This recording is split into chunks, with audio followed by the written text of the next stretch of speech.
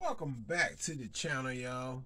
In this video, I'm gonna show you guys another great video. This another great cologne. This is called Leonard Leonard Nightfall.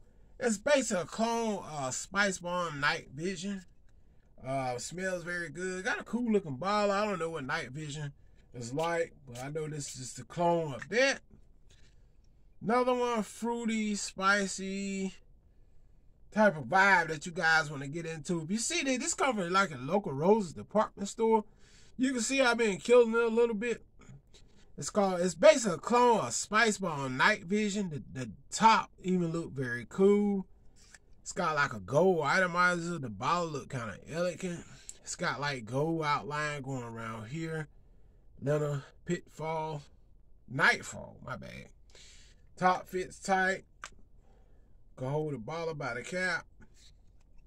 Spray is cool. As you can see, it puts out a lot of juice. Great projection. Get about an hour and a half to two hours projection. I just thought it worthy to come up and talk about. If you see it at your local Rose department store.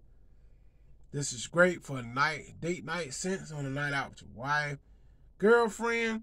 This is gonna be a quick little video. Y'all know how I do. I always come up and share some good stuff with y'all. See this at your local Rose department store. Don't hesitate to pick this up.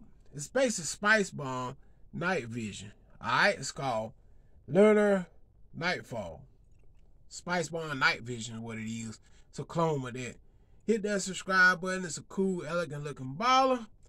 And I'll see y'all on the next video. I'm out. Peace.